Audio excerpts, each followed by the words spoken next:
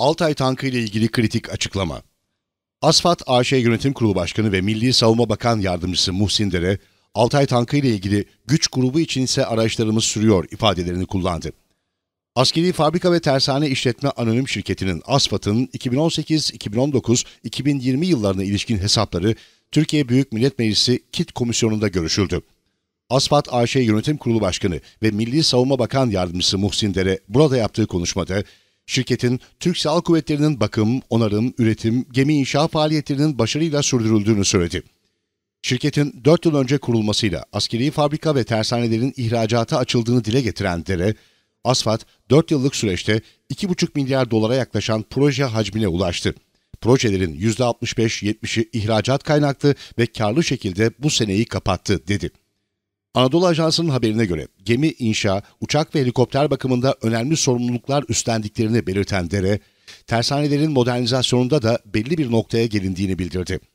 Asfalt Genel Müdürü Esat Akgün de bugüne kadar imzaladıkları 45 projenin 20'sini zamanında ve en doğru şekilde bitirdiklerini söyledi. En iyisini en ucuza, en kısa sürede ve en yüksek yerlilik oranıyla üretmeyi hedeflediklerini vurgulayan Akgün, bu yaklaşımın ihracat konusunda da kendilerine avantaj sağladığını ifade etti. 2,5 milyar dolarlık projeyi 273 kişiyle yürüttüklerini ve bunun bir dünya rekoru olduğunu belirten Akgün, hedefimiz kişi başı proje büyüklüğünü 10 milyon dolar seviyesinde tutmak. Normalde bunun büyüklüğü savunma sanayi şirketlerinde 500 bin dolardan birkaç milyon dolara kadardır. Bir proje yönetim şirketi olarak bunu 10 milyon dolarlar seviyesinde tutuyoruz diye konuştu. Tank paleti fabrikası Komisyon üyelerinin eleştiri ve sorularını da yanıtlayan Muhsin Dere, Arifiye'deki tank paleti fabrikasının tamamının verilmesi, satılması gibi bir işlemin söz konusu olmadığını söyledi. Katar konusunun çok fazla dillendirildiğini ifade eden Dere, 4 senedir bakan yardımcısıyım. Hiçbir Katarlı bırakın ortak olmayı fabrikaya girmedi bile. Ne çalışan ne yönetici öyle bir şey yok.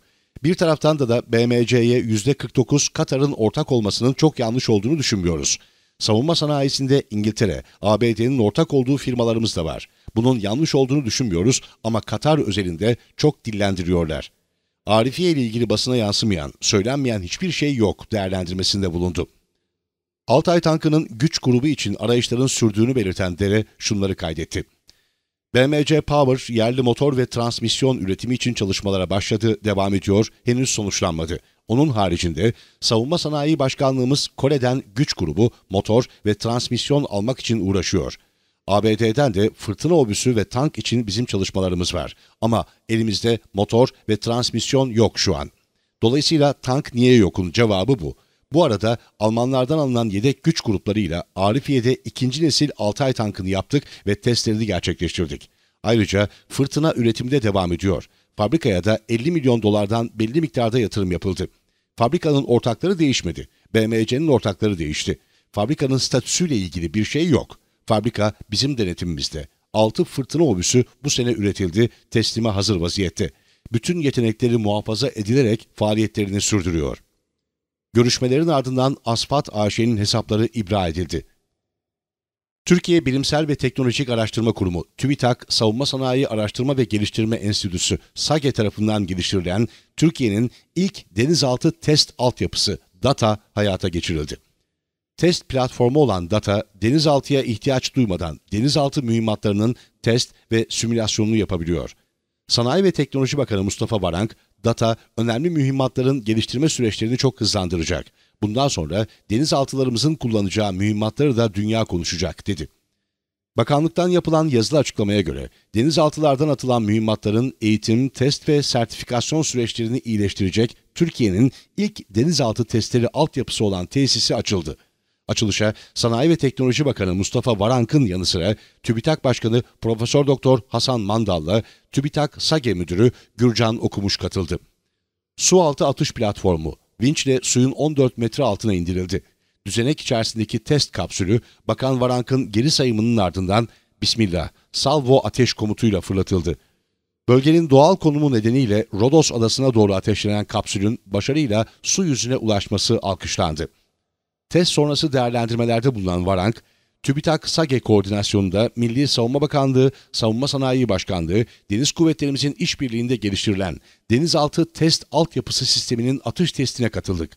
Bu altyapı denizaltıların kullanacağı bütün mühimmatların test edilebileceği, bir denizaltıya ihtiyaç duymadan deniz altından havaya, karaya ya da deniz yüzeyine atılan bütün roket sistemlerinin mühimmatlarının kolayca test edilebildiği bir altyapı.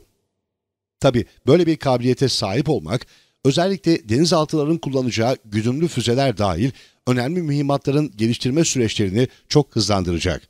Bu manada TÜBİTAK SAGE ile adeta bir denizaltı simülatörü geliştirmiş olduk ve burada da onun bir test atışına katıldık, dedi. Türkiye'nin ürettiği ürünler dünyanın her tarafında konuşuluyor. Bakan Varank, savunma sanayi alanında Türkiye'nin son dönemde büyük kabiliyetler kazandığını belirterek şunları söyledi. Bu kabiliyetlerini her alana yaymaya çalışıyor. Mavi Vatan'da gelecekte oluşabilecek bütün risklere karşı vatan savunmasına kararlı bir şekilde devam eden Türkiye'nin özellikle deniz alanında da kendi kabiliyetlerini geliştirmesi, savunma sanayi alanında denizde bir takım kabiliyetleri başarması önemli. İşte bugün ülkemize kazandırdığımız test altyapısıyla bu kabiliyetleri geliştirirken kullanacağımız önemli bir işi başarmış olduk. Böylesine başarılı bir işe imza atmış olmaktan gerçekten çok memnunuz.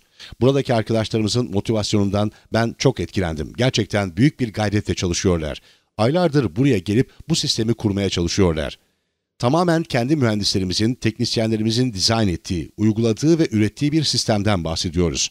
Bu kabiliyetler bizi savunma sanayi alanında bir üst noktaya taşıyacak.